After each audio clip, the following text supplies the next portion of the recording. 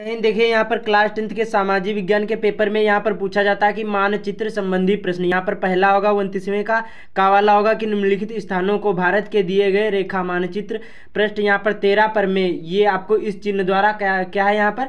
द्वारा नाम सहित दर्शाइए। उसके बाद में सही नाम तथा सही स्थान अंकन है तो आपको आधे आधे अंक निर्धारित मतलब आपको मिलेंगे। तो यहाँ पर पाँच क्वेश्चन होंगे। इनको आपको क्या करना होगा? एक मानचित्र मिलेगा, उसमें आपको इसको भरना होगा, उसके बाद में उनतीसवें का खा पूछा जाएगा। और इसमें भी यहाँ पर क्या होगा? ये चिन्ह जो बने, इन चिन्ह द्वारा दर्शाना होगा। तो आज के इस वीडियो में आप लोगों को बताऊँगा इसको जो मानचित्र संबंधी प्रश्न आते हैं, इसको कैसे भरना है। ये वीडियो बहुत ज़्यादा इंपॉर्टेंट है, बहुत सारे लोग इसको छोड़ देते हैं। लेकिन आपको इसको छोड़ना नहीं, ये दस नंबर, ये फ्री के दस नंबर होते हैं, बहुत ज़्यादा इंपॉर्टेंट ये वीडियो है।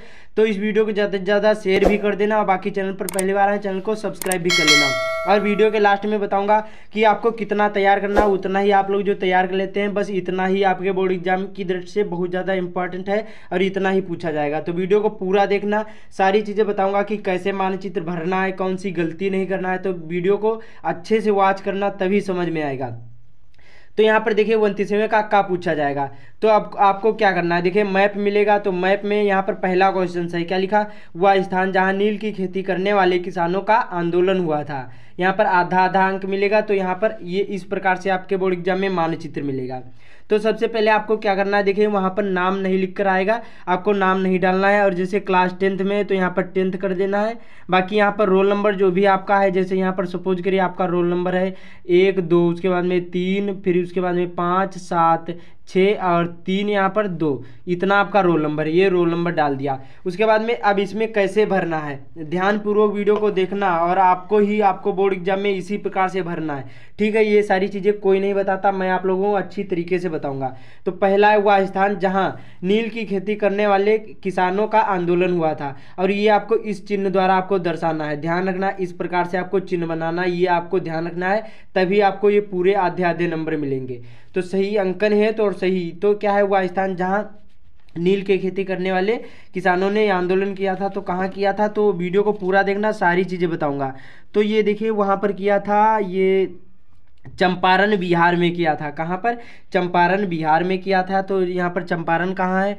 तो देखिए, ये बिहार के यहाँ पर है। कहाँ पर है? यहाँ पर है। तो इस प्रकार से करने के बाद और ऐसे गोला कर देना है। जैसे जैसे बताया था सेम उसी प्रकार से और ऐसे एरो करके और यहाँ पर आपको लिख देना है चंपारण।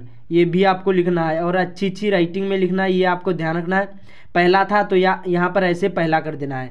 क्योंकि इससे क्या होगा एग्जामिनर को भी समझ में आएगा कि पहले का यहाँ पर ये लिखा। तो एक हो गया, इसी प्रकार से आपको इसको भी भरना है। ठीक है, समझ में आ गया? बहुत सिंपल सा है। पहला था तो यहाँ पर रोमन अंकों में ऐसे कर देना। जैसे जैसे यहाँ पर लिखा था, ये रोमन अंकों में लिखा था तो सेम ऐसे ही आपको यहाँ पर कर देना है, ठीक है? चंपारण हो गया। उसके बाद में वह स्थान जहाँ सर्वप्रथम सविनय अज्ञा आंदोलन प्रारंभ हुआ। तो सविनय अवज्ञा आंदोलन कहाँ प्रारंभ हुआ था? तो ये भी आपको अच्छी तरीके से भर देना है। तो ये देखिए कहाँ हुआ था? ये दांडी गुजरात में हुआ था। कहाँ हुआ था? तो ये दांडी गुजरात में हुआ था। दूसरा था तो गुजरात कहाँ पर है? ये ये गुजरात है, ठीक है? ये मैप आपको सारी चीज़ें आना चाहिए कि कहाँ पर गुजरात है, कहाँ ये है, कहाँ ये, सारी चीज़ें आपको एक वीडियो में अच्छी तरीके से आप लोगों को बता दूँगा। तो ये गुजरात में दांडी जो है, यहाँ पर है। तो इस प्रकार से करने के बाद ऐसे कर देना है और यहाँ पर लिख देना है दांडी डांडी इस प्रकार से। इस प्रकार से करने के बाद यहाँ पर दूसरा था तो यहाँ पर दूसरा ऐसे कर देना है रोमन अंकों में। ये आपको ध्यान रखना है।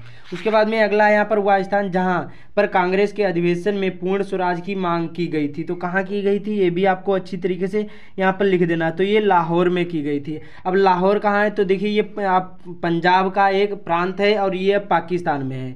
तो जो लाहौर है तो ये यहाँ पर हो गया। अब लाहौर तो यहाँ पर हो गया है। तो ये पाकिस्तान में अब चला गया, लेकिन आपको भर देना तब भी है। तो इस प्रकार से ऐसे करके यहाँ पर लिख देना है लाहौर, इस प्रकार से। लाहौर और ये तीसरा था तो यहाँ पर ये तीसरा ऐसे इस प्रकार से कर देना। बहुत सिंपल सा होता है, वीडियो को पूरा देखना, सारी चीज़ें बताऊँगा। उसके बाद में स्थान, जहाँ जलियावाला बाग हत्याकांड हुआ था। तो ये कहाँ हुआ था? अमृतसर में हुआ था। कहाँ हुआ था? अमृतसर में। तो बहुत सिंपल सा है। अमृतसर कहाँ है? तो पंजाब के यहाँ पर अमृतसर है। तो ये ध्यान रखना इस प्रकार से करने के बाद, और यहाँ पर ऐसे कर देना अमृतसर। क्या कर देना यहाँ पर? अमृत और सर, इस प्रकार से करने के बाद, यहाँ पर ये कितना था? चौथा था तो ये चौथा हो गया। उसके बाद में यहाँ पर अगला है, वह स्थान जहाँ दिसंबर 1920 ईस्वी में कांग्रेस का अधिवेशन हुआ था। जो दिसंबर 1920 ईस्वी में कहाँ हुआ था? तो ये महाराष्ट्र के नागपुर में हुआ था। कहाँ हुआ था? महाराष्ट्र के नागपुर में। तो महाराष्ट्र ये वाला है, महाराष्ट्र की राजधानी क्या? तो मुंबई है। और ये नागपुर में, नागपुर यहाँ पर था, है तो यहाँ पर इस प्रकार से ऐसे कर देना है और यहाँ पर ऐसे लिख देना है नागपुर। ये भी आपको लिख ज़रूर देना है। और अभी बताऊँगा कितना आपको तैयार करना है। और ये पाँचवा था तो ये पाँचवा हो गया। तो इसी प्रकार से ये पाँचों कर देना। पाँच नंबर आपके बिल्कुल पक्के हो जाएँगे। सही जो अंकन करोगे, उसके बाद में सही नाम लिखोगे तो आपके पाँच नंबर बिल्कुल पक्के हो जाएँगे। ठीक है, आपको इसी प्रकार से लिखना है। आप लोग नीले या काले कोई भी पेन यूज़ कर सकते हैं, ये आपको ध्यान रखना इसी प्रकार से आपको भरना है। देखिए, आपको सबसे पहले क्या कर लेना है, एक वीडियो देख लेना, उसमें आपको ये सारी चीज़ें याद कर लेना कि जम्मू कश्मीर कहाँ है, उत्तर प्रदेश कहाँ है, यहाँ पर महाराष्ट्र कहाँ केरल कहाँ ये सारी चीज़ें आपको अच्छी तरीके से, बिहार कहाँ है, झारखंड कहाँ ये सारी चीज़ें आपको अच्छी तरीके से आना चाहिए, तभी ये सारी चीज़ें भर पाओगे। उसके बाद में अब चलते हैं यहाँ पर दूसरे मैप में। यहाँ पर ये जो आता है इस प्रकार से, देखिए।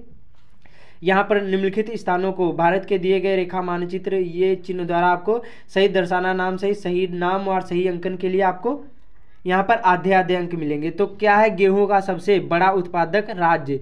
इस चिन्ह द्वारा दर्शाना है तो बहुत सिंपल सा हो जाएगा। ये उत्तर प्रदेश में है तो आपको क्या करना है? जो चिन्ह बना था, वही चिन्ह यहाँ पर ऐसे बना देना। यही उत्तर प्रदेश है, इतना बड़ा उत्तर प्रदेश तो ऐसे कर देना है। और यहाँ पर ऐसे लिख देना उत्तर प्रदेश। उत्तर, यहाँ पर उत्तर प्रदेश। इस प्रकार से कर देना और ये पहला था तो ये पहला कर देना। ठीक है? इसी प्रकार से करना है। जो चिन्ह बनाए सेम इसी प्रकार से यही चिन्ह बनाना है, तभी आपको पूरे नंबर मिलेंगे, ये आपको ध्यान रखना है। उसके बाद में कॉफ़ी का सबसे बड़ा उत्पादक राज्य ये चिन्ह द्वारा आपको दर्शाना है। तो देखिए, कॉफ़ी का सबसे बड़ा उत्पादक राज्य कौन सा है? ये भी बहुत ज़्यादा इंपॉर्टेंट है बहुत सिंपल सा है। तो देखिए, ये कहाँ है? ये केरल में है। अब केरल कहाँ है? देखिए, केरल ये है। और ये चिन्ह द्वारा आपको दर्शाना ये जो चिन्ह बना है सेम इसी प्रकार से ये चिन्ह बनाना है, ये आपको ध्यान रखना है। तो इस प्रकार से पहले त्रिभुज बनाया, उसके बाद में गोला कर दिया। और यहाँ पर लिख देना लिख देना है केरल। केरल हो गया और ये दूसरा था तो दूसरा ऐसे इस प्रकार से कर देना। ठीक है? यहाँ पर सबसे ज़्यादा क्या है? कॉफ़ी उत्पादक राज्य है सबसे ज़्यादा। उसके बाद में मूंगफली का सबसे बड़ा उत्पादक राज्य कौन सा? इन चिन्ह द्वारा आपको दर्शाना है। ये चिन्ह जो बना है, इसी चिन्ह द्वारा आपको दर्शाना है। तो ये गुजरात है, बहुत सिंपल सा हो जाए। गुजरात कहाँ? ये है गुजरात। तो यहाँ कहीं पर भी इसको ऐसे बना सकते हैं और ऐसे आपको लिख देना है गुजरात।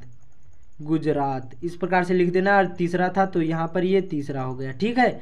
उसके बाद में चौथा यहाँ पर उत्तर दक्षिण गलियारे का टर्मिनल। यहाँ पर स्टेशन इस चिन्ह द्वारा आपको दर्शाना है। तो देखिए यहाँ पर जो उत्तर दक्षिण, जो गलियारे में यहाँ पर जो दक्षिण का है गलियारा तो क्या होगा?